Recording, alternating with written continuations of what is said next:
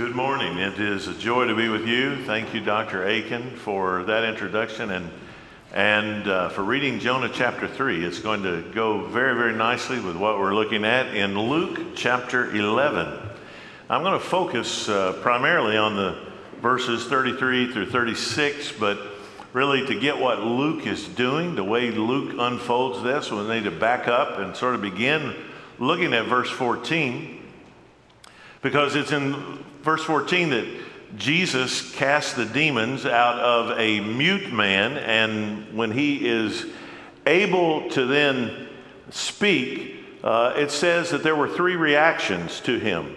That there were those that it said the people marveled, but some said, Oh, he's doing this by the power of Beelzebul. Others uh, said, Oh, we need, we need a sign. You know, this is great that he did, but we need more. And so then you have progressively, Luke unfolds Jesus answering these three different categories. He begins with those that accuse him of casting demons out by the power of Beelzebul. And he attacks the logic of that. Well, how can Satan be divided against Satan? His house would not stand, it would fall. But he said, But if I, by the finger of God, cast them out, then the kingdom has come to you. And then down in verse 27, you have sort of a, the, the first category that Luke mentions is those that marveled. Here, a, a woman in the crowd raised her voice and said to him, Blessed is the womb that bore you, and the breast at which you nursed. But he said, Blessed rather are those who hear the word of God and keep it. When the crowds were increasing, he began to say, this generation is an evil generation. It seeks for a sign, but no sign will be given to it except the sign of Jonah. For as Jonah became a sign to the people of Nineveh, so will the Son of Man be to this generation. The queen of the south will rise up at the judgment with the men of this generation and condemn them, for she came from the ends of the earth to hear the wisdom of Solomon. And behold, something greater than Solomon is here. The men of Nineveh will rise up at the judgment with this generation and condemn it, for they repented at the preaching of Jonah. And behold, something greater than Jonah is here. No one, after lighting a lamp, puts it in a cellar or under a basket, but on a stand, so that those who enter may see the light. Your eye is the lamp of your body. When your eye is healthy, your whole body is full of light. But when it is bad, your body is full of darkness. Therefore, be careful lest the light in you be darkness. If then your whole body is full of light, having no part dark, it will be wholly bright, as when a lamp with its rays gives you light. Well, when you see this woman, this Middle Eastern woman, who she marvels at Jesus. She respects Jesus. He's obviously a prophet. She greets him with this very Middle Eastern greeting Blessed is the womb that bore you and the breast that nursed you.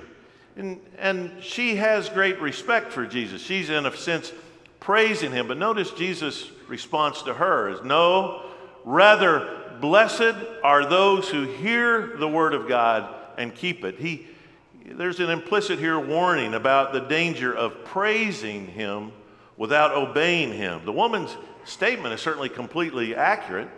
Mary, the mother of Jesus, was blessed. Motherhood is a blessing, and, and to be the mother of Jesus is certainly immeasurably so. But Jesus' response is that hearing and keeping the word is better than bearing and nursing the Messiah. He contrasts the physical relationship, which is great, with the spiritual relationship, which is even better. It's, it's not enough to simply admire and marvel at Jesus. You've got to respond in obedience, he says. And then Luke has Jesus engage with the, the audience that wants a sign. And here you have the implicit danger of hearing without repenting. Jesus says, Woe to this generation. This, this is an evil and adulterous generation because it's looking for a sign when God has, in fact, given one. You know, anytime you see in the scripture someone requesting a sign, that, it's always an evidence of the weakness of faith. Only Hezekiah is commanded to, to ask for a sign. When Gideon asked for a sign, I mean, I don't know about you, but if an angel showed up in my yard, I would consider that a sign. But Gideon wants another sign. And when he gets that sign, then he still wants another sign. And it's just evidence that he's not really wanting to obey God. His faith is weak. Here, Jesus rebukes this generation because they're asking for a sign. I mean, he, he's been casting demons out, he's been feeding multitudes, he's, he's been giving miraculous catches of fish and calming the storm. And yet they go, hey, you know, we want a sign. Jesus says the sign's already been given you. There's no sign that's going to be given you except the sign of Jonah. Now, what, what is the sign of Jonah? Well, when Jonah preached at Nineveh, he was a demonstration of God's judgment. Can you imagine what Jonah looked like after spending three days in the belly of a whale? The gastric juices, like just eating off the hair, uh, the hair off his flesh and bleaching his skin. When a guy whose skin is scarred and bleached and his hair is gone and he goes crossing your city talking about the judgment of God, you better listen to that guy. He knows something about the judgment of God. Jonah was himself a demonstration of God's judgment, but he's also a demonstration of God's deliverance. Because God judged him for his disobedience, then God delivered him from the belly of that great fish and Jonah's testimony in Jonah 2 is, he concludes it all by saying, Salvation is of the Lord. And when he lands, he heads now toward Nineveh. And there he preaches.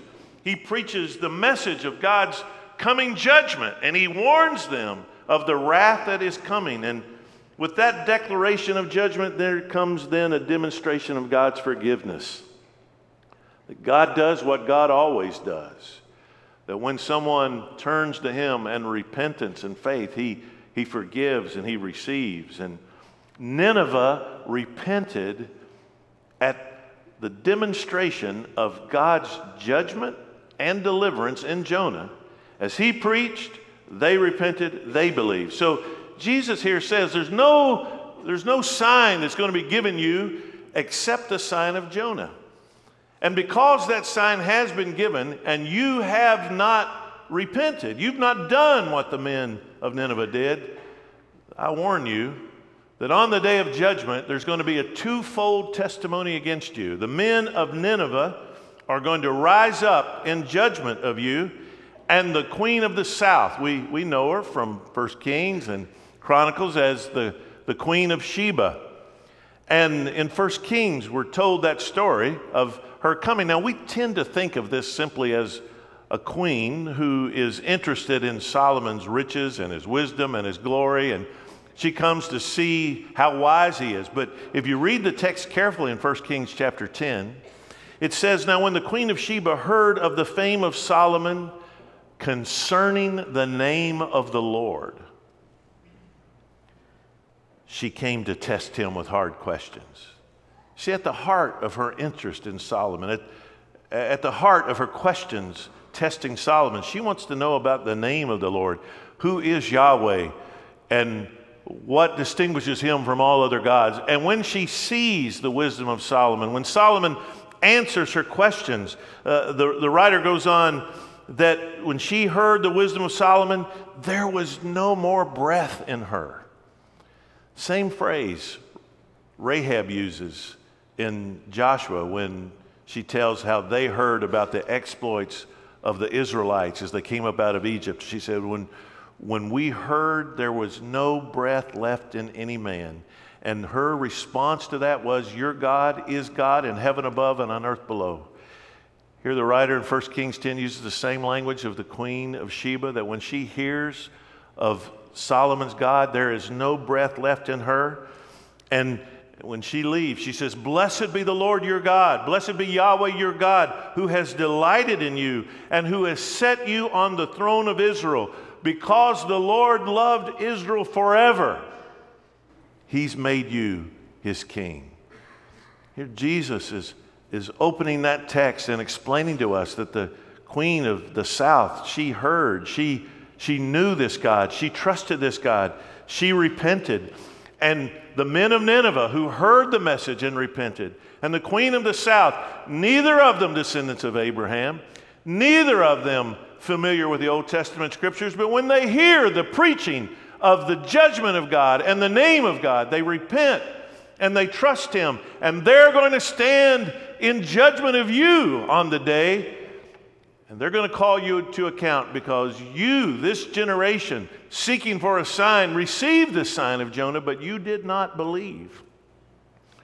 It strikes me that there will come a day, on that day when the Lord reveals himself in his glory, that the glory of Jesus is so great and his majesty so brilliant that the thought of rejecting him will be so offensive that all those whom God in his grace has saved will rise up in judgment, even of our dearest friends and closest loved ones who have denied the Lord of glory. The queen of the south, the men of Nineveh, will rise up in judgment of you. Jesus is saying you need to repent of your unbelief. And then we get to verse 33. And at first glance, it looks like Luke has taken us in a different direction, that the subject has changed. Jesus is now talking about something completely different. But if you divorce those verses, 33 to 36, from what precedes it, it, it really would make no sense at all. I mean, we, we could take verse 33 by itself no one, after lighting a lamp, puts it in a cellar or under a basket, but on a stand, so that those who may enter may see the light. And our minds tend to sort of stick that back in the Sermon on the Mount, where we've heard similar language. We're supposed to be salt and light, and this is talking about us shining. But suddenly, then Jesus changes the, the metaphor. He says, Your eye is the lamp of your body. When your eye is healthy, when your eye is single, when it's whole, when it's undivided, then your whole body is full of light. But when it's bad, your whole body is full of darkness. Now, what, what is that about? How does that fit with what Jesus has just said? Well, here's Jesus telling this generation that though they marvel at him, some accuse him of doing this by the power of the devil. Others say, now, this is wonderful, but we'd really like to see more evidence. We, we want a sign. Jesus tells them, look, the sign has been given you. The sign of Jonah is here. And uh, he is saying that I am the light. I've not done these things in secret. These things aren't hidden. They're not done in a cellar or in a corner. I have preached in the light. I've done my miracles on a lampstand, as it were. My light is shining. Now, the question is not whether or not I, the light of God, am shining. The question is whether or not your eye will see me. And if your eye is single, if your eye is undivided, if your eye is healthy, and you see me for who I am, then your whole body will be full of light. Jesus has not hidden himself. He's not done this in a corner. In fact, remember in verse 20, he says that I've done this by the finger of God. If I've done this by the finger of God, then the kingdom of God has come upon you. And indeed, the kingdom has been brought right to them. And yet, seeing it and seeing the evidence of it, they still don't accept God's anointed. They still don't receive him as the Son of God. Jesus is telling us that the eye is the center of perception.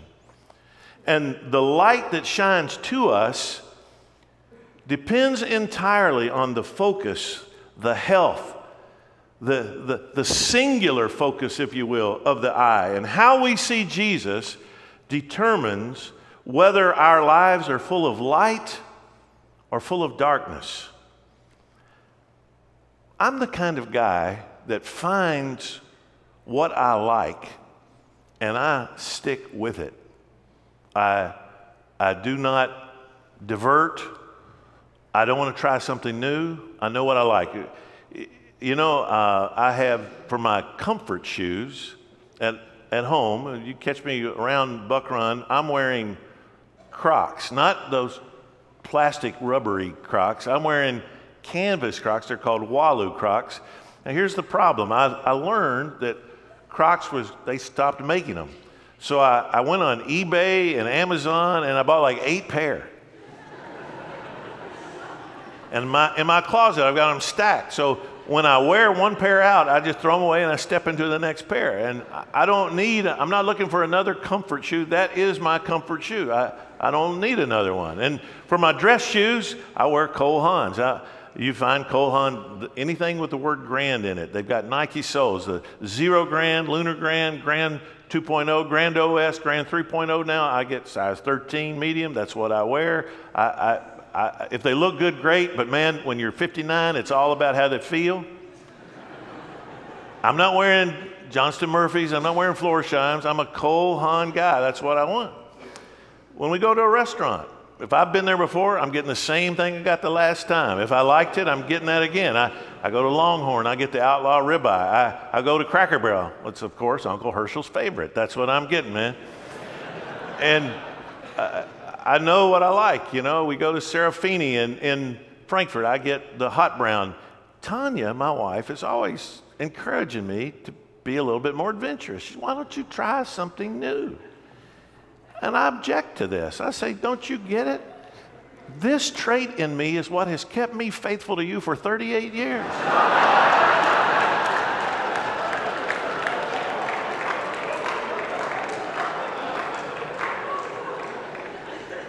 you should celebrate this in me. This should give you great comfort.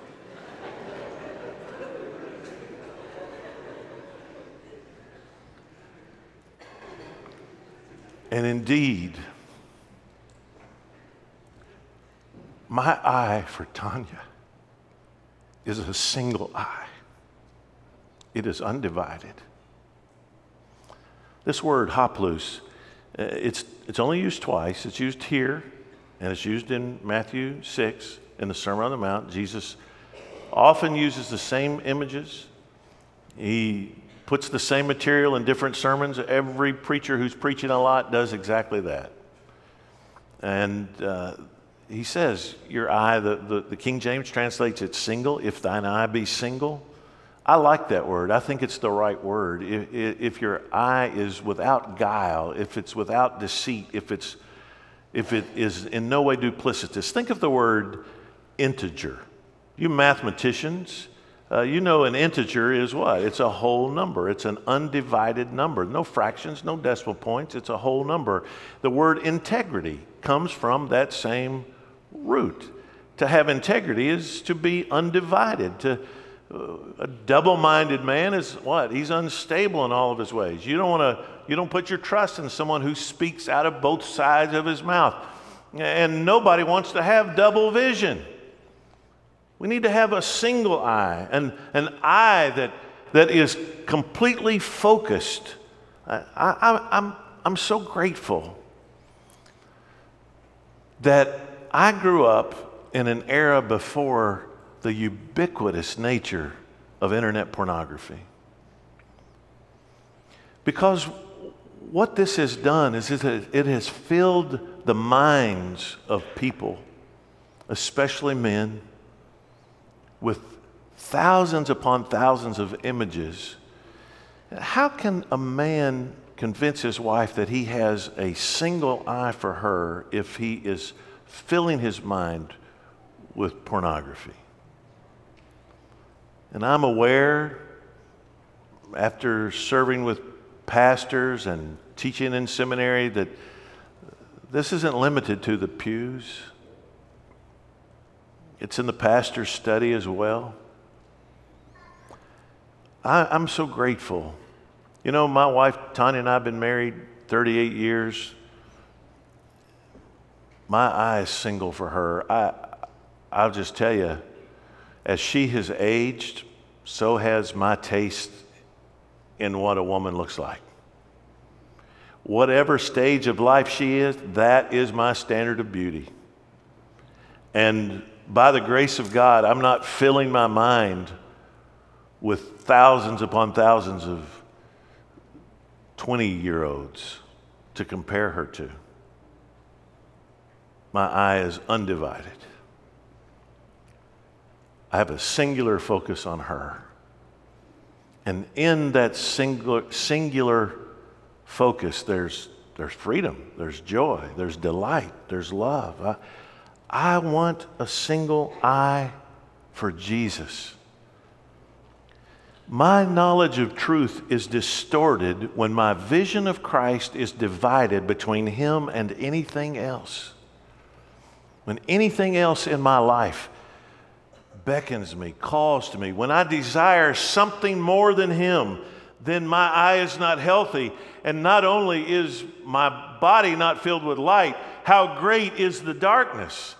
We have tragically seen the, the stepping away and the falling away of Christian leaders recently in many different ways, and no doubt for many different reasons.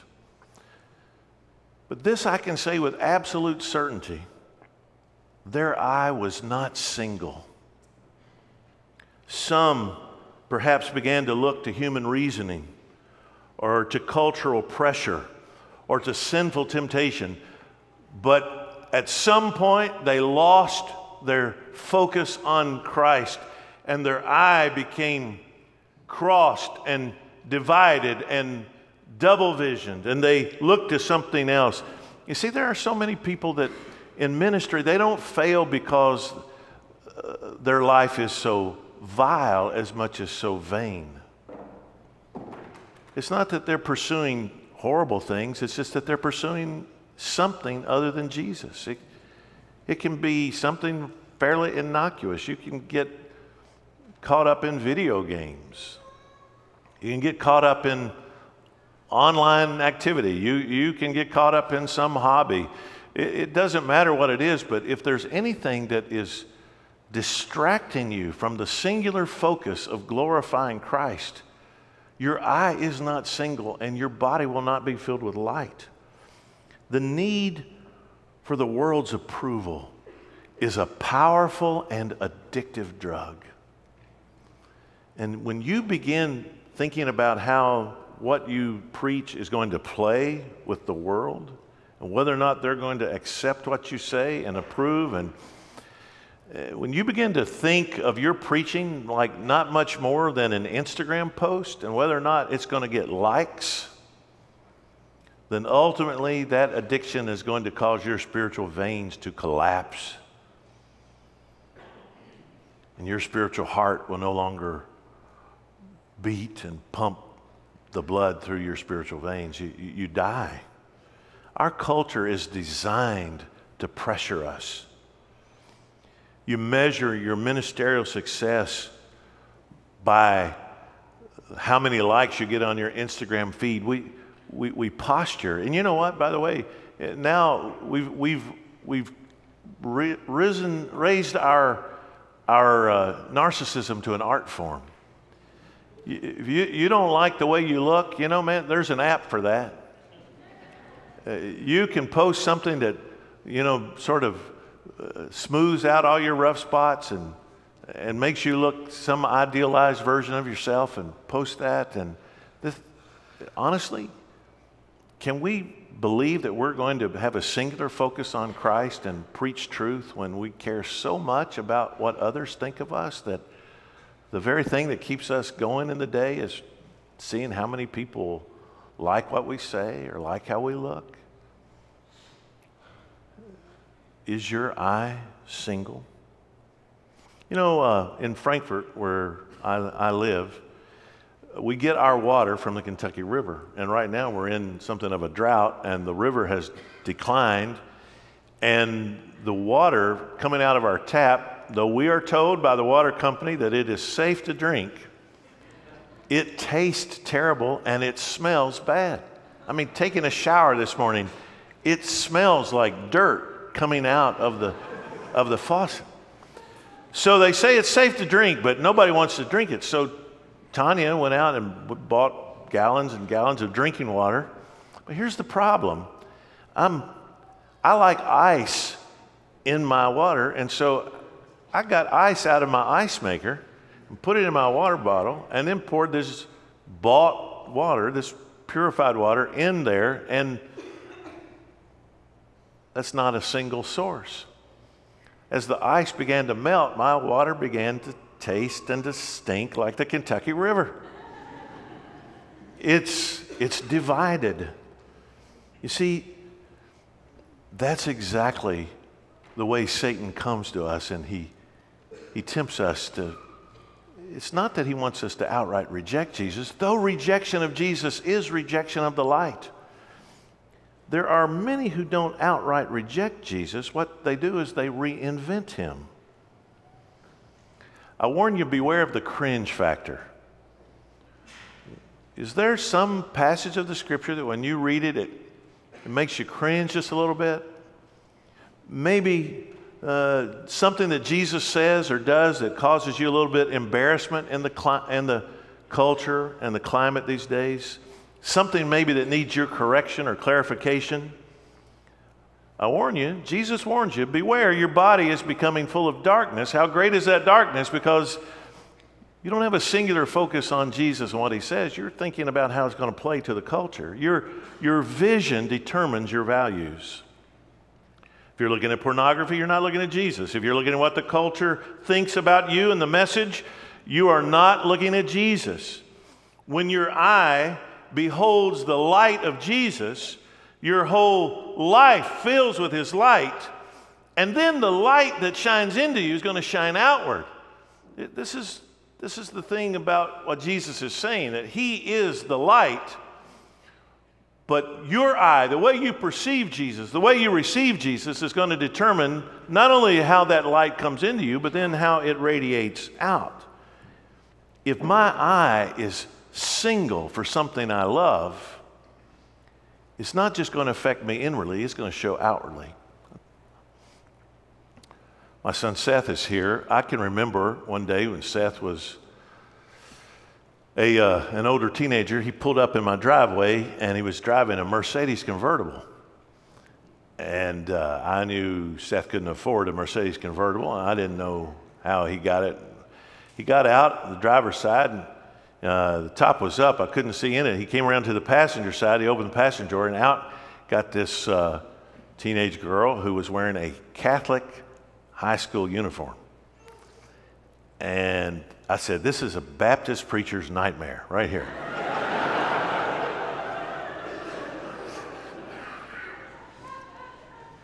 well, I met the young lady, and, and they dated for a while, and she was not a believer. And uh, I told Seth, I don't think you should be dating her. She's not a believer. And at the time, he really wasn't listening to me.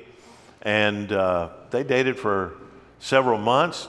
Tony and I prayed for her. We, we talked to her. We opened our home to her, but I knew she's not a believer. She had, didn't seem to have any interest in being a believer, and I, I knew this was bad news. And so when they broke up, I was actually glad. I was relieved. But there was this gnawing concern in my heart for her soul.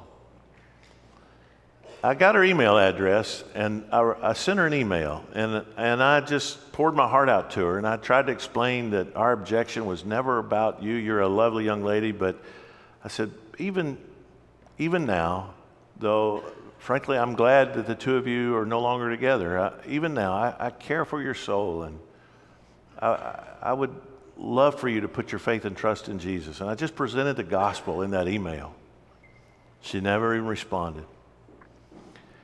It was about three years later, the Lord had really done a great work in Seth's life, and Seth was really seeking to honor the Lord. And he came and talked to me one day. He said, Do you remember that young lady? I said, Yeah, I do. He said, uh, You know, uh, we, she got in touch with me, and he said, uh, You know, she's a believer now. I said, Oh, really? That's wonderful. He said, Yeah, she's a member at, at Highview. And he said, uh, I'd, I'd like to go out with her. I said, Well, you know, my objection was only that she was not a believer. I'm delighted to know she is, and I'm sure both of you have matured now, and you know, I have no, no problem with it. And he went out with her, and that Next morning, he came to see me and he said, uh, I'd really like you and mom to meet her again. I said, Well, sure.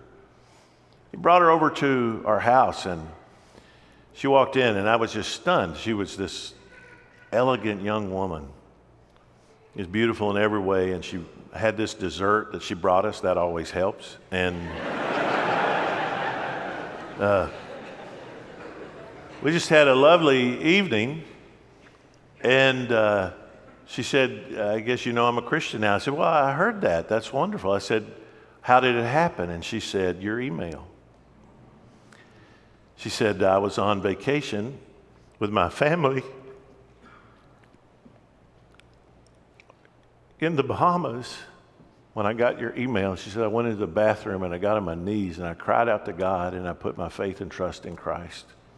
When I came back, I got, got in touch with a friend I knew was a Christian, and she took me to Highview, and I was baptized there and been discipled there, and the Lord's done a work in my life. And that young woman is now the mother of four of my grandchildren.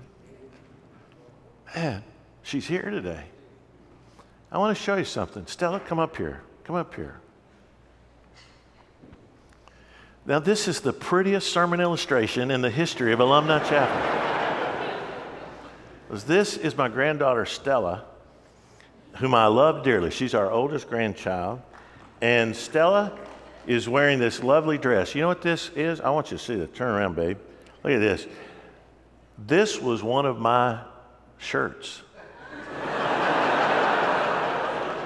Thank you, dear. And Candace, her mom, takes my old shirts. I get ink stains on the pockets or something, you know, or a hole in the elbow, and she takes them and she reworks them and makes them into a dress. She calls them legacy dresses. And Harper's wearing one too. My, my uh, younger granddaughter sitting in Tanya's lap, she's wearing a, sh- a dress that used to be my shirt. Now, I want you to see something. When I look at Stella wearing this shirt that my daughter in law, whom I got to lead to Christ via email, when I look at this, I see so much more than a dress. You see that? I see all that God has done in this whole story of His grace that has resulted in a daughter in law whom I could not love more if she were my own and had grown up in my home, and grandchildren. And my daughter in law wants these dresses to remind my granddaughters of the legacy of their grandfather's faithfulness. Does it get better than that? Does it get better than that? Thank you, darling. Love you. Now, folks,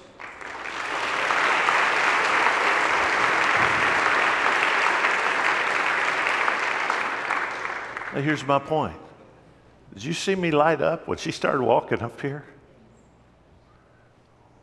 The image of her going into me has to shine out, doesn't it? How much more when I look at Jesus? So that's the big question. How do you see him?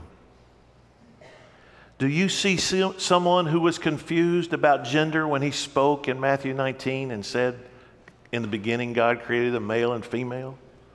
Do you see an inveterate racist when he called the Syrophoenician woman a dog? There are people who see Jesus that way. Or do you just see a moral teacher who the early church elevated to the status of deity? Or do you see the one who is greater than Jonah? Do you see the one more glorious than Solomon? You know what I see when I look at Jesus? I see the one who took my filthy rags and he washed them as white as snow, and he clothed me with his righteousness. How am I going to look at him? When you start talking about Jesus and what he's done for me, and how he's enriched me, and how he's promised me a place in heaven with him, my eyes are going to light up. My whole body is going to be full of light, looking at Jesus, feeding on his word, realizing what he has done. That is the command. If your eye is single, focused on Christ, your whole life is going to radiate His light. You know, the benefit of being a pastor at the same church for a long time is great. One of, the, one of those things is that you walk through life with them and you're often in the very room with them at the end of life. Can I tell you something? at the end of your life, the chances are good it's all going to get down to one room. All the stuff that you used to have, it's not going to matter. At the very end of life, it gets down to one room. And who and what is represented in that room is the only thing that's going to matter to you at the end of life. But if your eye has been single and focused on Jesus, and you can see into that room at the end of your life, your whole life will be full of light, and death will be simply stepping into the presence of the source of the light that's been shining in you since you trusted Him. That's how I want to live. That's how I want to die with a single eye. Father, I pray that we might be so focused on the Lord Jesus that everything about us radiates His light and His glory to the glory of God. In Jesus' name, amen.